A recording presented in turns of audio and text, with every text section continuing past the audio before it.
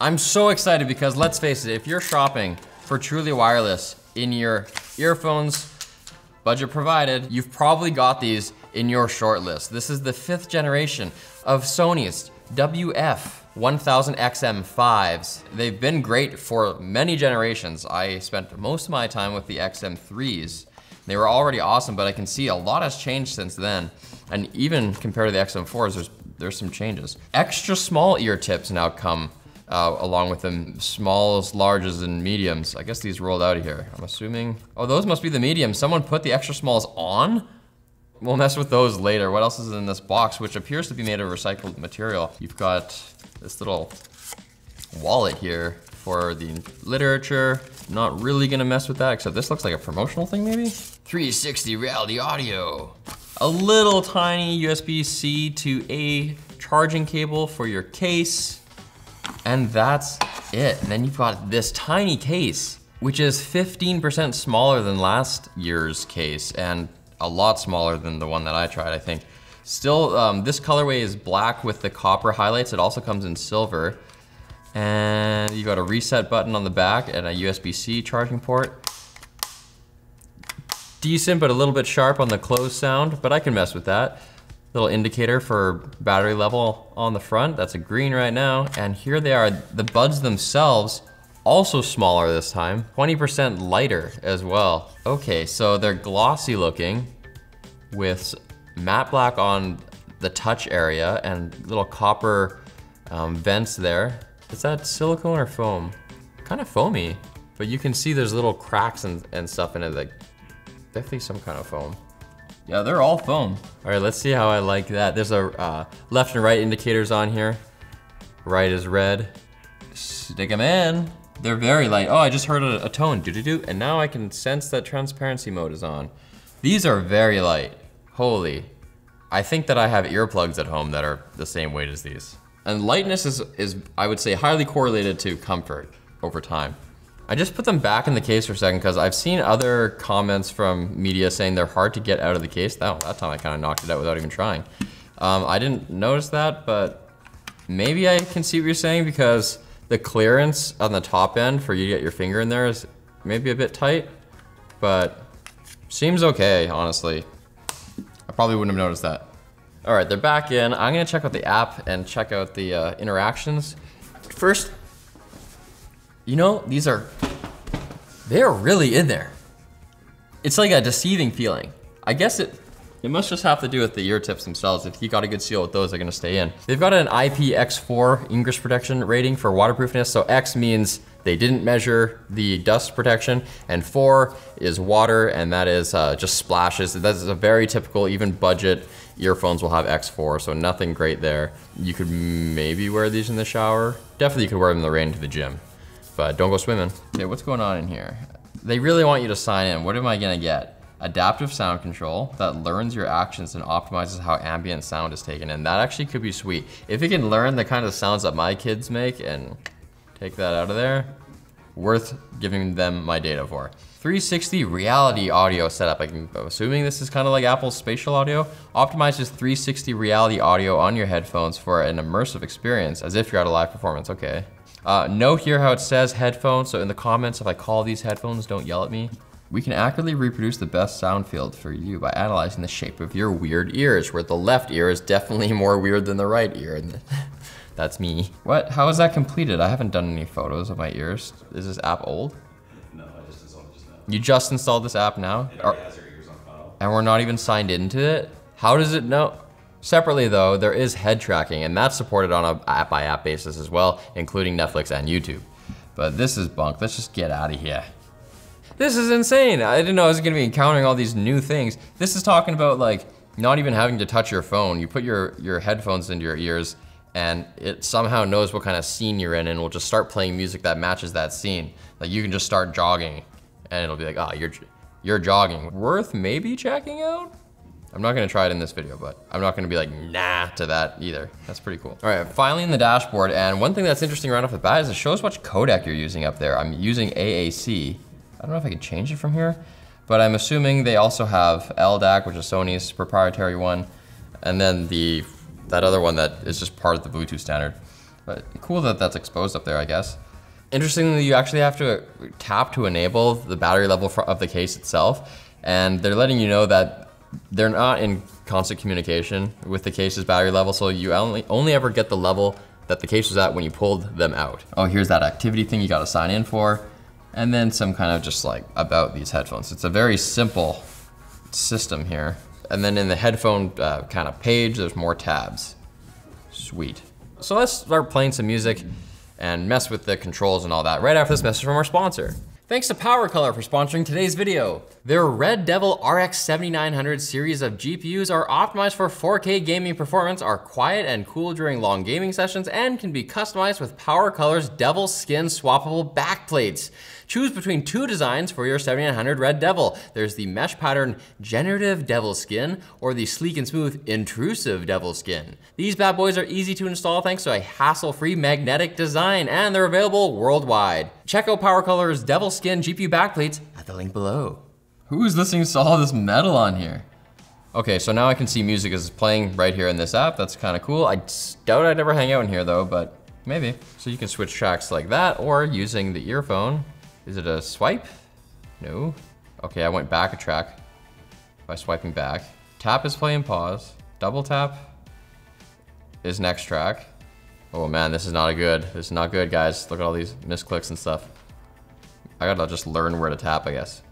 I'll go higher up. Okay, that's consistent. All right, so there's a dedicated page for changing the interactions, and it's really interesting what they've done here. Basically, there's two like sets of controls, and by default, one set, which is called ambient sound control slash quick access, is bound to the left, and the other set of controls, which is called playback control, is bound to the right. But you can actually switch it up so you could swap that, so playback control is only on the left, or you could duplicate it so you have playback control, like so the exact same functions per earbud on both sides. It would be really weird if you just put ambient sound control on both uh, because then you wouldn't have any playback control at all. One thing I didn't realize is that you can tap four times to raise the volume on the right and tap four times to lower the volume on the left. So I think you just, you tap four times and you enter the volume control kind of arena and you just keep tapping to, to knock it down. I can just try that right now. It's getting louder. You kind of have to just sit here and, and tap a lot, but at least it's pretty intuitive. It does take a while to get into that mode though. These do sound really good and they've got a lot of even passive isolation. Let me see what happens here. I think. Let's see what they got for ANC noise floor. If I turn it on and off, do I hear a hiss? Oh yeah, there's the hiss. It's not too bad. So I'm gonna get my own opinion on the sound now. Starting with this loud thrash song. I'm not a loud music listener really. I can see some people thinking these aren't loud enough, although it might vary by your device. Another thing I like to look for is whether it gets harsh sounding, especially with electric guitars, high-end kind of sounds like that. A lot of times when you turn it up, it gets just really harsh, so, but these, but with these, that's doesn't seem to be a problem. All right, let's go into like a bassier song. Oh, look at that auto pause. Pauses when you pull it out, that's cool.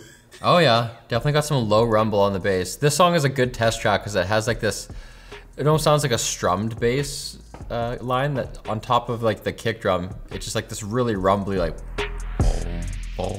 This song was big when I was first listening to the Apple AirPods Max when they came out, and they have like really cooked bass, and the uh, that that rumble was just like so apparent on those headphones more than any other.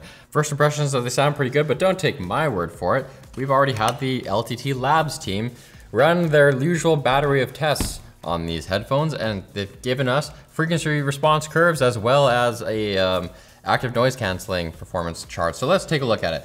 So the first one we have here is the frequency response. Starting the left side of the graph, the bass response is really close to neutral. Then heading into uh, you know the 100 to 1000 hertz range, you can see there's a little bit of variation, but this is a degree that's really not going to be discernible to most people. Even Sam, the person who does the audio testing for us said that he probably wouldn't have, wouldn't notice this without looking at the chart at the same time. So very good, very neutral response from these things. So if you're the type of person who likes listening to the artist's intent uh, from whatever content you're listening to, These are gonna do a good job, a lot better than last year. They still have problems in the upper three kilohertz and higher range. This is where you're seeing more of a discrepancy, up to a 10 dB discrepancy at, at 8,000. But this is a great improvement from the XM4s before. And again, at 8,000 hertz, your ears are not very good at discerning sounds at that level. So you might not really notice this 10 dB. Even the greatest difference here, which is 10 dB, is probably not that noticeable. One thing to note though, if you're coming from headphones that have a more V-shaped curve, that is they're overcooked in the lows and the highs, these might sound less exciting to you or less like present to you. Even if they sound more like neutral or true to the artist's intent, they could sound boring to you. So you have to just get used to that. This is the ANC curve. So here, the white line is not wearing earphones at all. The red line is wearing the earphones, but they're not turned on. So that's the passive isolation you get from just having them stuffed in your ears. And then green is having the active noise canceling turned on. You can see up to 500 hertz. That is where the active noise canceling is on and it is really performing really well. This is some of the best active noise canceling that we've tested. You can see the green line is well below the red line at that point, and then after 500, it's basically not on. So when we tested these, they sat in the dummy head and we did not pull them out and put them back in between tests. All we did was switch the app from ANC on and off. So the differences you see beyond 500 Hertz are really representative of the actual differences and not too many other measurement errors. So do the XM5s have good active noise canceling? Yeah, they do. The microphone. It is a Bluetooth microphone, so it's not gonna sound fabulous, but I figured I would do a test call for you people, and you can just hear what it sounds like.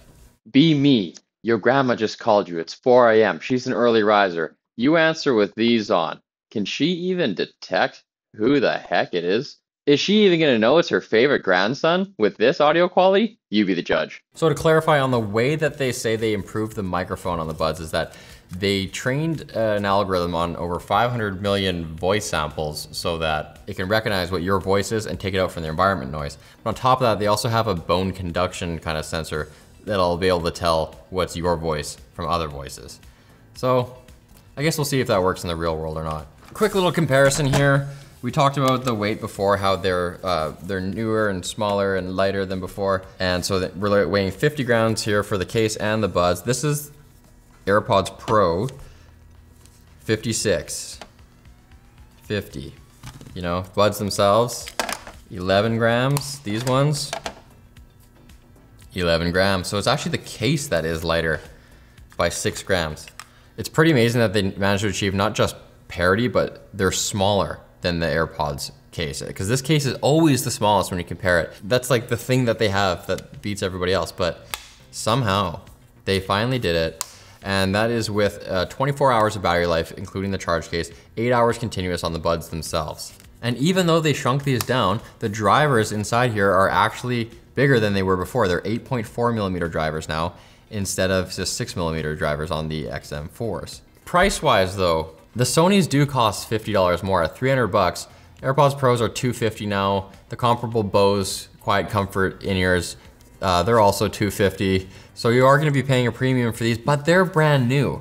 All these other things have been out for a bit. Conceivably the price will go down on these as well. So overall, the XM5s are definitely worth a close look. They've improved the sound quality, they've improved the noise canceling, they've improved the size and the weight. These are just getting very close to being the best wireless earphones on the consumer market. Definitely don't sleep on these. Put them in part of your roster if you're in that 250 to 350 dollar US budget for your wireless earphones.